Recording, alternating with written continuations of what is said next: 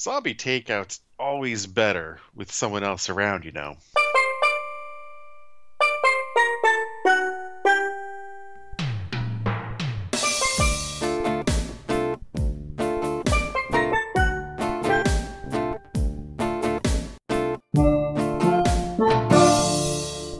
Hello and welcome to Zombie Takeout, the B movie and cult movie show. I'm John. And uh, hello, I'm, I'm Scotto. I, I did a whole NPR style intro trying to throw Scott off. It did not work. It'll probably be an outtake. Um, Yeah. before we get to this week's movie, uh, we have some listeners submitted from Bo- Bodo. This is a voicemail he left us. Hey, Bodo here. House. 1986. If I was you people, I'd make the mistake that I make and watch the Japanese version of the House. Toho production. Definitely, you could see some Godzilla, um, Afro, Blah, blah, speech impediments. Um, some of the Godzilla scenery that they use. Uh, it's definitely much better. It is um, subtitled, but it's a hell of a lot better movie. 90% Rotten Tomatoes, and it's worth every t- Rotten Tomato. Anyway, uh, what can you say? It has a little cheers, a little night court, homage to Evil Dead 1 and 2, Tentacles, um, Twilight Zone the movie, but none of the good stuff. Just all the cheesy crap. And I could definitely see where Snow Day got their zombies from. Anyway, not very good. I would rate it maybe two and a half brains. Anyway, you guys are the best. Glad you guys are back. Peace. Thank you, Bodo, and thank you for letting us know about the Toho version. Um, yes. It's from 77, unrelated, um, similar stories.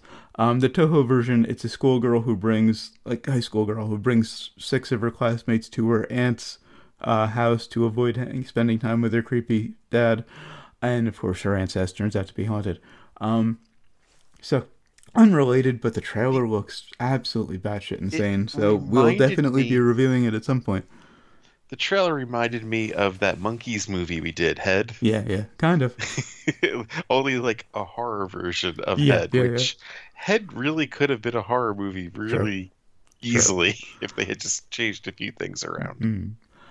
Also, Bodo left us another voicemail uh, letting us know that he was diagnosed with COVID 19. So we just wanted to say, you hope you recover quickly. Yeah. Yeah, no, I've had a lot of a lot of friends and family and coworkers Mm. that have all all been diagnosed and you know most have uh you know had some pretty good easy recoveries, but Uh. you know some it's been a long time. I only, so far, Bodo's only the second person I know who's been diagnosed, the other being our friend Ruben, um, who sailed through it. I actually forgot about Ruben. Yes, Ruben had it. That's true. Yeah. Um, so, I mean, Bodo's only a little bit older than us. I'm sure he'll be fine. Yeah. Um, anyway, on to this week's movie, which is from 1986, House. This kicks off the House trilogy. We're only doing the first three, even though there were four. I'm not sure why. I don't know either. You know, I don't even know anything about the third or fourth one. Hmm. I didn't even know they existed until we started researching this. Maybe we'll do four. Maybe we'll actually slip the, the Japanese one in after. We'll see. Just everything house related. We'll do a TV show about uh, the Hugh Laurie show. Oh, we'll, God. uh, I don't know. And of course, that brings us to the impromptu plot summary, sponsored by Blood Dance, the latest novel by Robert Jacob. It's a great book, man. You'll treasure it always. And also brought to you by Roger Cobb novels in general. Uh, is there such a thing as method writing? All right, so we have um, and they do they take that uh part of the part of The Shining where Mhm. it is an author just looking to looking for some quiet, but he goes into this knowing there's something fucked up Yeah. about the house. Just house. to explain the Shining reference, one of my perspective titles was The Shining Light, L I T E. Right, he um The Shining of course, you know, that plot is the author, you know, gets this gig as caretaker to the hotel, but you know, he doesn't know the stories about it and, and is kind of uh you know, blindsided by the evil that's under the place. Or was he? Oh, that's right. I forgot. Well, I don't remember that in the book either. I've read the book. Okay. The But- ending of the movie is different in the book. Hmm.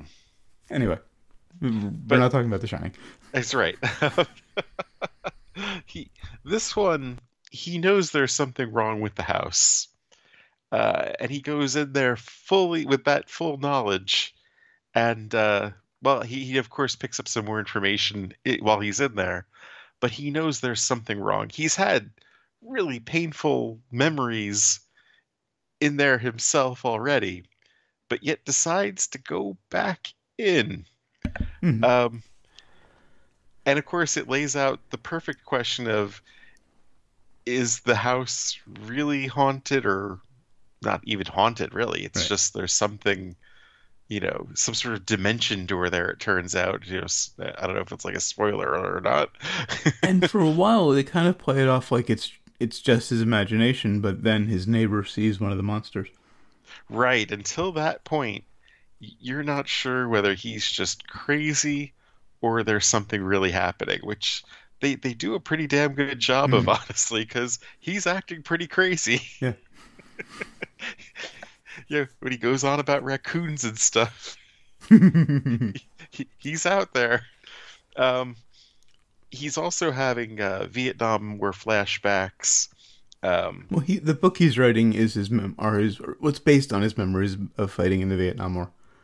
Right, but you kind of get the feeling he's having these flashbacks anyway, and he just has to write Yeah. this to get this out.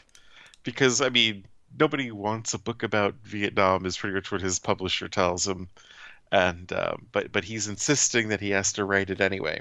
Although I remember '86, and at that point and just before, every action movie show hero on TV was a Vietnam vet. Very true. Very true. I mean, uh, I think we're just getting into like the Rambo. hmm I'm You know. thinking Magnum PI, A Team, That's true.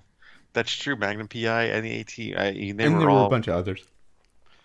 and uh, I think we're around the time of Full Metal Jacket Mhm. and uh, oh, I'm trying to remember the other one now. Um, Platoon. Right. Like they're both out around the same time, so it was just kind of like this glut of of Vietnam Mhm. War. but true, as it came to books, I think there were only maybe one or two that I could think of at the time Uh-huh.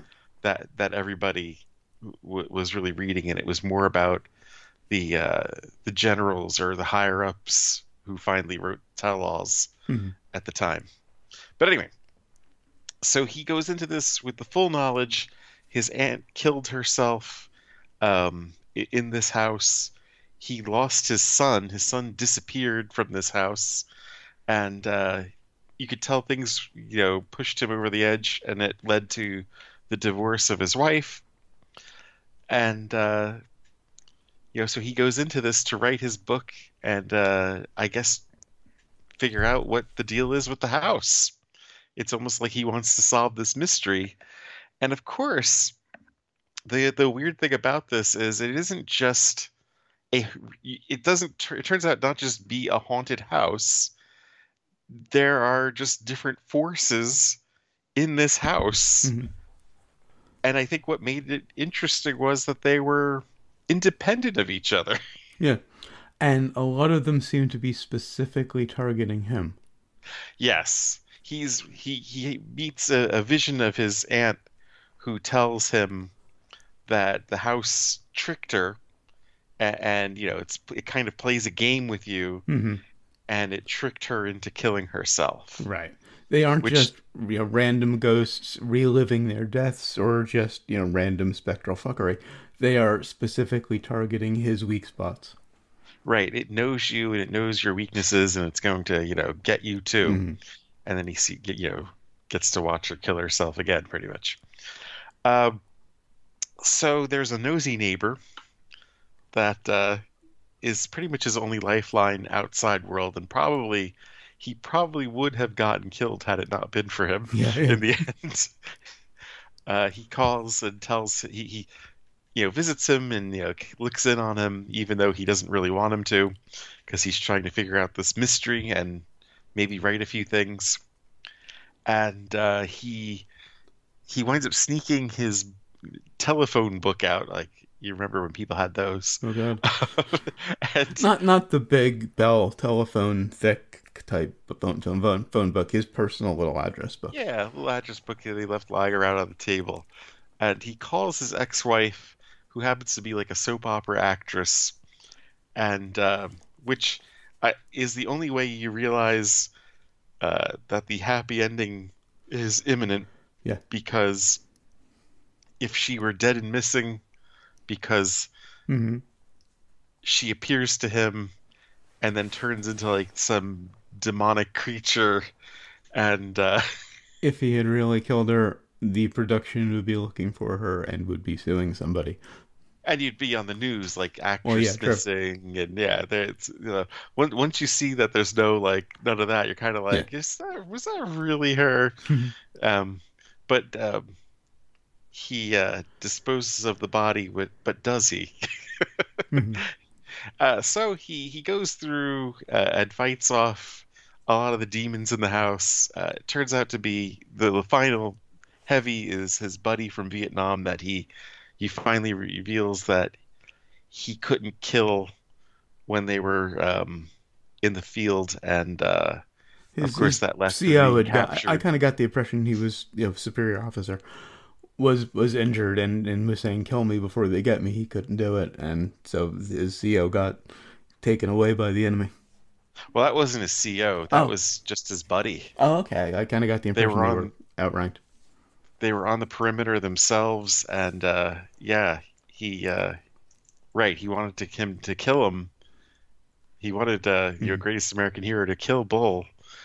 You know bull and uh he couldn't do it. You know they were kind of buddies and he Mhm. just couldn't bring himself to killing his friend. And how do you do that Yeah. when you've got a knife? What's the you know least painful way of, of doing that to someone how how much better is that than being tortured by the Viet Cong and Speaking of as the person here who actually has a knife collection, I'll, I'll refrain from answering that question. good good so yeah he takes the form of the final heavy and uh yeah he goes on a quest for his son to to recover him Hmm. and uh, hilarity ensues Now, the, the protagonist, as you mentioned, is is or alluded to, is played by William Katt, aka the Greatest American Hero. Um, I, I in my trivia, I read that he had auditioned as for Luke Skywalker and was actually the front runner before Hamill showed up. really Yeah, he was being seriously considered, but Hamill ended up, first going to Mark Hamill. I think he would have made a better Luke. honestly you know who i had heard actually was a front runner for luke skywalker even over him Hmm. was robert englund Wow. Interesting. freddy krueger himself Well, I was actually going to go with the other reference, but the name, but I blanked on the name. Willie.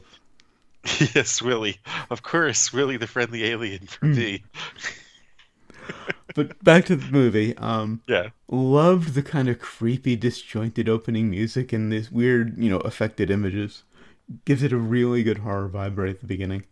the the yeah the whole cello-y uh, intro Although it, it opens with this scene of this guy in a moped delivering groceries to the house, you know, but basically to find out that the uh, that his his aunt had killed herself. yes Um, he's only got one bag of groceries. In early Ah. 2021, that is hilariously quaint. Yeah, but it is just an old lady, you know, just who knows how she probably doesn't eat much.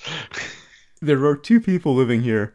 We've got like we had a delivery yesterday. We got like six bags sitting out in the front in the in the sun porch.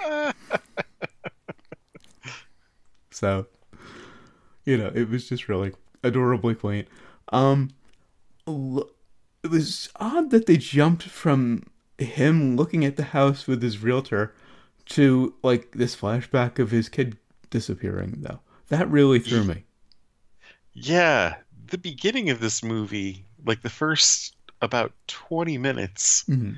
is very slowly paced. Yeah. And, and very strange too and awkward. It's not until, of course, George Wendt shows up Right. that like Okay, now we know what this is gonna be. get- Um, gets going. Yeah. Um, but they just jump to this flashback with no warning and with no they never tell you they didn't I think you mentioned he was divorced. Never mentioned the Yeah. kid. So we get the scene where the kid disappears and it's all it's just really confusing. It is. because you're like, wait, what is this now? Is this when? Mhm. And I think I it wasn't until I read the IMDb some plot summary where it was he disappeared while he was visiting his aunt Uh-huh. because Oh, okay, he has visiting. like he has a room there though. Mhm. Like they, they of course left intact. Yeah. Like it looks like a kid's room. I mean, would you would you really have that in just your aunt's house that you come to visit?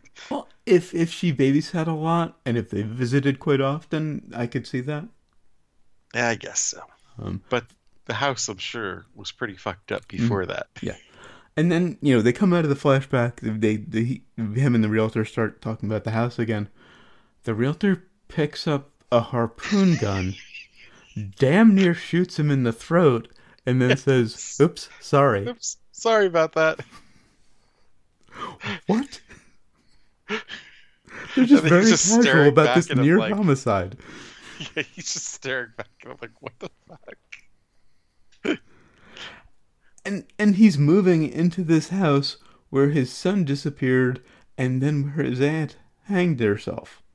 Right. That that's what I'm getting at. Like The Shining, I feel Jack was ambushed. Yeah, you yeah. know. True. Jack, I mean, Jack ending walked into a aside, you know- did not know. possible implications of the ending of the movie aside, yes. Uh, but but this guy signed on to face this. Right. Yeah. because he needed inspiration for a book about, or, or needed to, to buckle down and really focus on writing a book about his experience in Vietnam. Maybe he thought the haunting would bring out, you know, the horrors of war somehow. And he was, I mean, he was correct. He did start writing Yeah. when he went in because he was not getting shit done. He was on the title page. Mhm. Anytime they showed him writing, which he thought was just kind of like a, you know, they just not want to show him writing? Mhm. But no, he was just stuck. Yeah. And as a writer, I totally get that. Yeah, It's a very relatable feeling. wrestling with the blank page. Mhm. Um, Richard Moll was a nice surprise because I I knew George Wendt was in the movie. I did not know Richard Moll was in it. Honestly, the only thing I can remember about the sequel to this is John Ratzenberger. I Mhm. don't think he's got as long a part as he should, but John Ratzenberger fucking steals the next one, if I remember. Okay, so But I it- forgot entirely that George Wendt and Richard Moll were in this, and thank God they were too, of yeah, course. well, there's there's hope that the next one will be at least will be better, hopefully. Um, and the the fact that he could turn off a hallucination with the TV remote kind of really does suggest it's all in his head. Because he's sitting there watching TV, he turns off the TV because I, I think it, it like switched to um his his ex's soap opera or something. He no, he turns it off, and then he sees his son in the window, and it's clearly like it's staticky and it's clearly a hallucination. Grabs the remote, turns that off. You know, I don't even think I noticed that. that he he turned the reflection in the mirror window off. I, th- I guess I assumed he was seeing that in the TV, but No, I watched the scene a few times to make sure it wasn't the TV, and it was he had turned the TV off just Huh. before. Um, it was just this weird scene they threw in. Now I have to admit that the monster in the closet, the first time it jumps out, did startle me. That was a good it's, jump scare. uh, it's uh, it's an interesting looking creature they Mm-hmm. made there. Loved the camera setup he had to film it. Yes, 1985 cutting edge technology.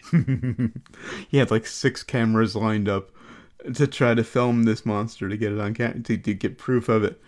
He he's kind of practicing. He's his plan is to use a string to open the door, and then the cameras are going to go off. And he That might be one of the best looking creatures Yeah. that they had in this too. Uh, Like oh, I mean, the demon yeah, towards the end was a was Mm-hmm. pretty was wasn't bad, but like the other creatures, I, I don't know. They looked they looked It funnier varied. than Um, a total of seven monsters were designed and fabricated for the production.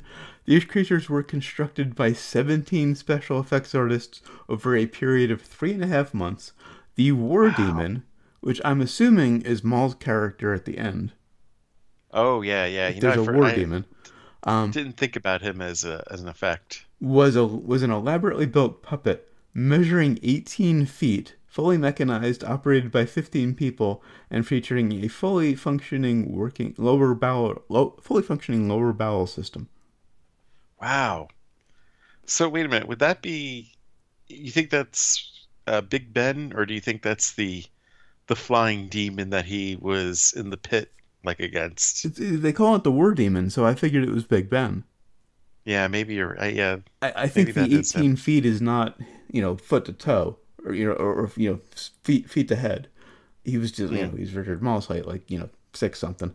Um, but I think there the the was it 18 feet was the additional stuff they needed to operate him. Probably. okay. I'm, I'm just guessing on that because he was actually, you know, the, the part we saw was only about Richard Moll's height, probably like six eight or something.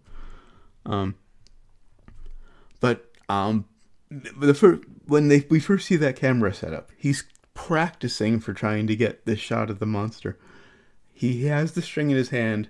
He lets it go and he mimes pulling the string to open the door, and then runs out of the house in fatigues.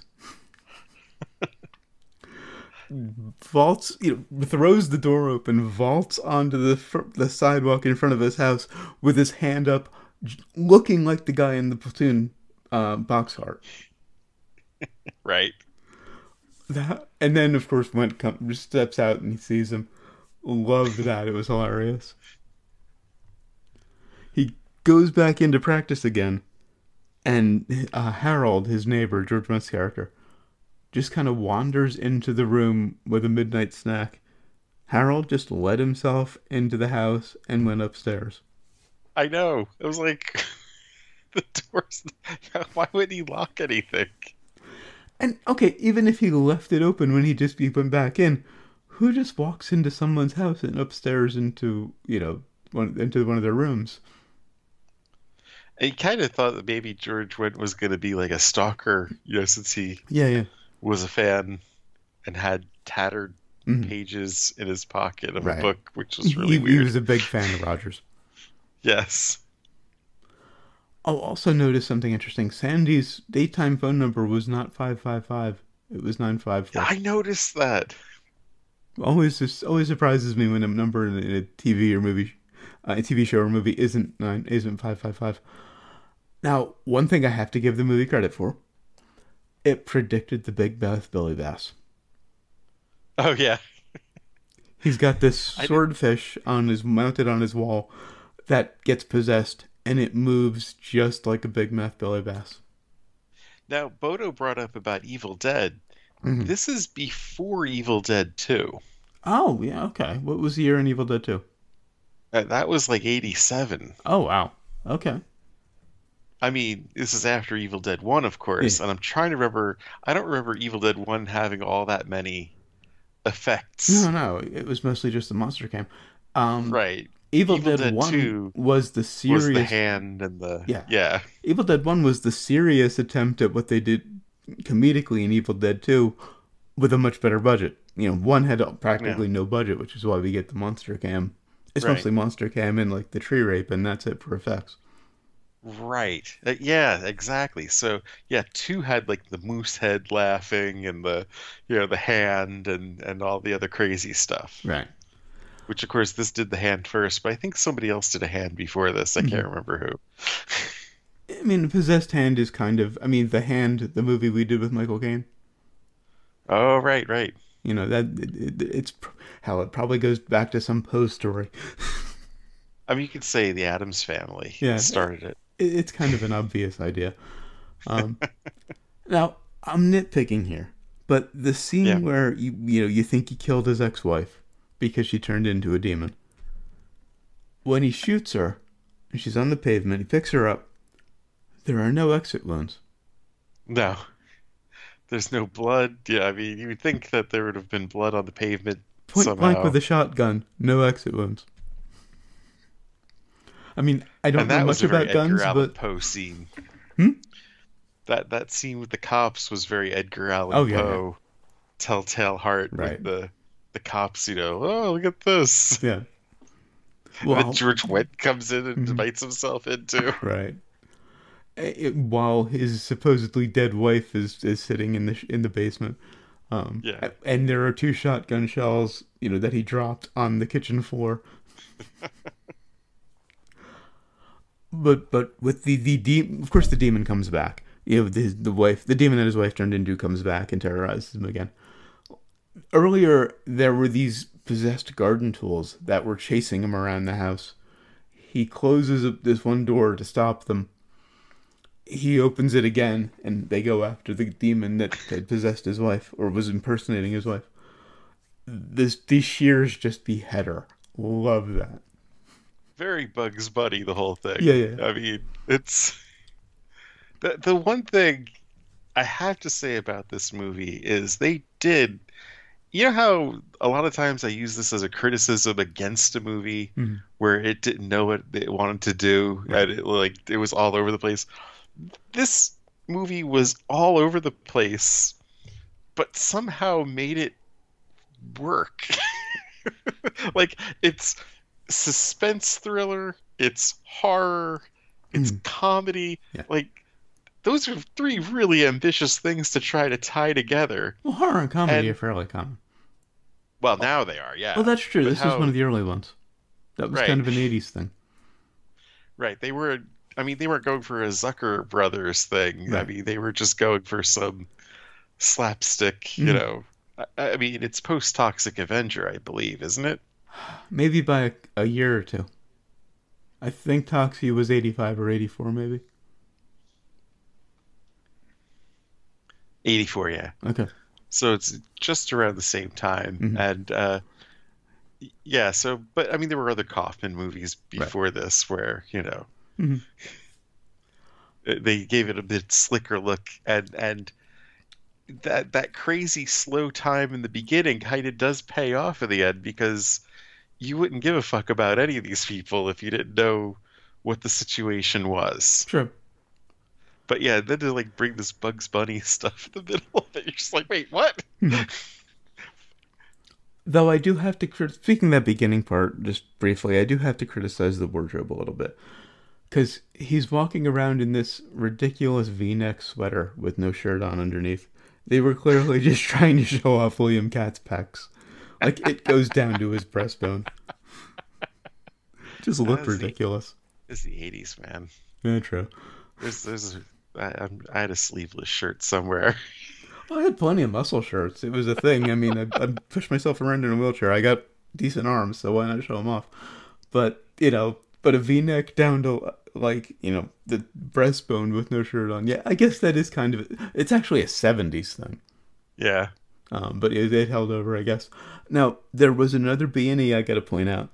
Um, his another one of his neighbors, a woman, just showed up in his pool one day.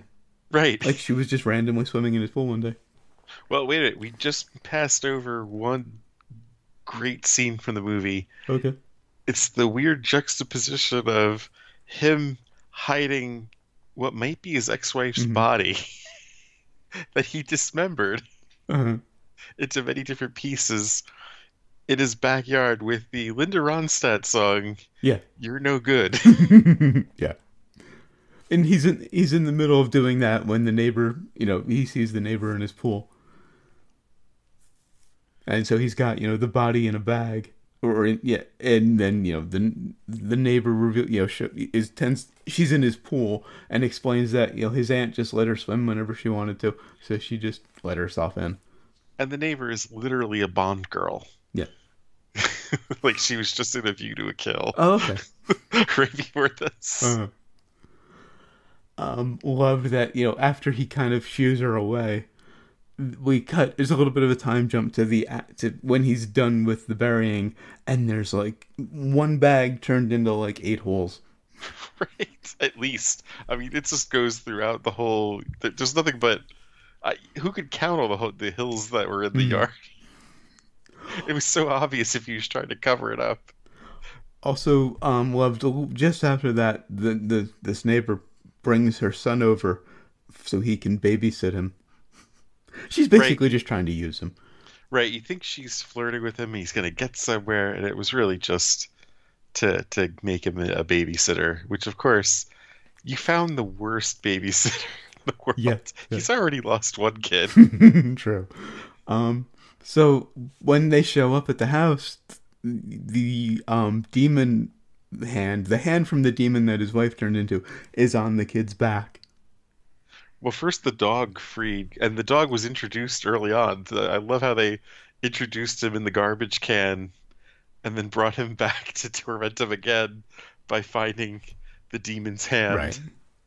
Right, right, right. And then the hand ends up on the kid's back.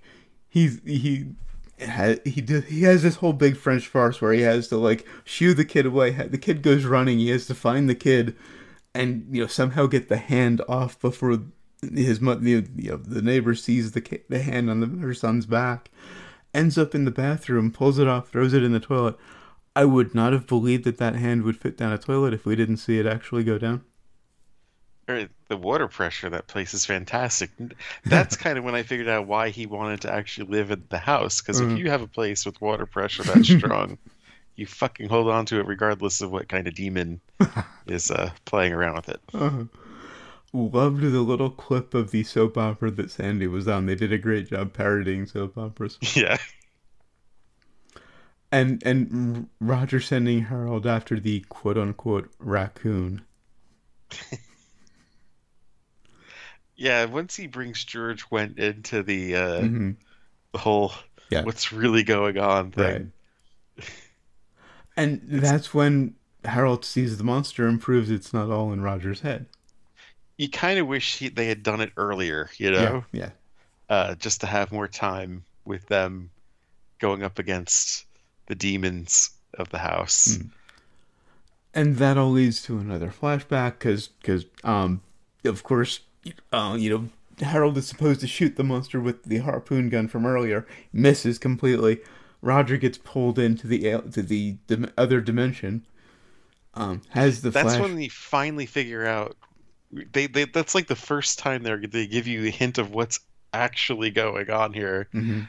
is that he's pulled into another dimension or or I mean, you think it might be his mind, but it's it's really another place. Yeah. well the fact that Harold saw the demons does it proves that it actually does exist Yeah. Um, but he gets pulled in, and this is that's where we get the scene where he won't shoot his his buddy in the war. We get a Richard Moll almost death scene, which is brilliant. yeah. He comes back. Um, Harold's sitting there with a, with a bottle of Jack in his hand that is mostly empty. he just passed out. I think that's a pretty reasonable response to seeing that monster. Yeah. Um, and and Moll being the big bad was a really nice surprise because he had been kind of underused up to this point. Definitely. Yeah. I mean the, it's just the origin story and Mm. and yeah, he's introduced as the bad way too late though, the heavy. but it kind of worked i think because what else could you do with him I mean, that chase could only last so long True. you know that that couldn't have been more really like, sorry if- i just hit my mic sorry if it made a noise um that that chase between the two of them couldn't have gone on much longer than it did it would have just gotten That's kind of true. tiring um The the big demon at the end, uh, the other one, Mhm. like when when he's going after his son, uh, I love how he twirls the shotgun. you were firing. yeah, yeah. Like you're not expecting this. I mean, you're just expecting him to be demonic or whatever, or claw or slash. But he grabs the gun out of his hand. and You think it's a defensive thing, and instead he twirls it around. Yeah. It's like he's in a western. and starts plugging away yeah at Roger. and of course he rescues his son from the other dimension um and you know, the ex-wife shows up to see him i'm glad they didn't get back together Yeah. Although, I mean, who knows? You know? they left the door open maybe they did Yeah. you, you can have whatever headcanon you want but in the context in, in the space of the movie you know the the kid just runs out to his mother they hug you know there's a little smile between the two of them that's it you know Yeah, I, I maybe it's just, I mean, the way the world is right now. But I didn't mind the happy ending actually. that's that happy ending was nice, you know, because the whole thing was about the disappearance of his son. he found out the kid, and it, I, I think it was pretty obvious that the kid had been pulled into the other dimension. It, it is like he because he beat the house. Yeah. You know, he gets the prize kind Right. of. You know, he gets to put his life back together. Mhm. I mean, the other. I mean, it's like a game of consequences. You know, either he gets his life back together or he winds up killing himself in the Right, house. Right. But, you know, they didn't go for that obvious plugged in, tick the box romantic ending, True. which I was happy about. True. Not just fitting in a. So maybe we should go have dinner sometime. Right, exactly. you know, the door was open. There, this story is done. If you want to, you know, just if if that's where you want them to end up, that's fine. But they Like, I don't think he's in the sequel. No. No, I think this is Katt doesn't come back. I think until the third one, which brings us nicely to sequels and remakes. Yeah. Um, it was followed by three sequels: House Two, Second Story, which we'll be reviewing next week; House Three, The Horror Show, um, that we'll be doing the week after that; House Four, The Repossession.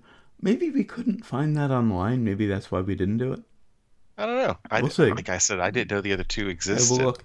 Um, House Three is not a direct sequel, but I'm pretty sure I read that William Katt does come back for that one. He's not in the He's next either one. back in three or four. I'm Yeah. not sure which one. He's not in the next one.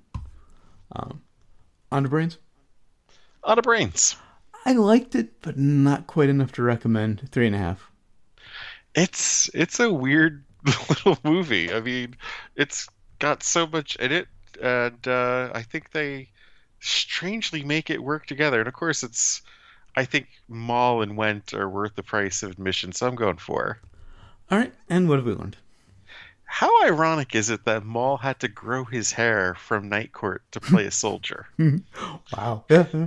I mean, Moll was, I mean, like I am now, bald in Night Court, completely shaved. So, Yeah, you know, he had but to have a you know, he's bit. playing a soldier. Ah, I think you're gonna have to grow your hair out a little bit Yeah, for that.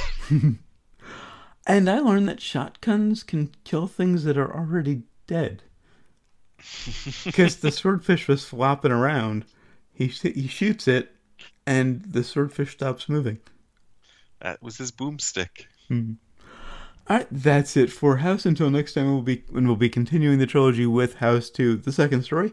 Always remember, never forget, wherever you go in life, there you are. There you are. Hello and welcome to Zombie Takeout, the B movie and cult movie show. I'm John. And hello, I'm Scotto. Didn't even phase you. I did like a fucking NPR thing. You didn't even react. I, I'm like, wow, he's going for something different in 21, you know?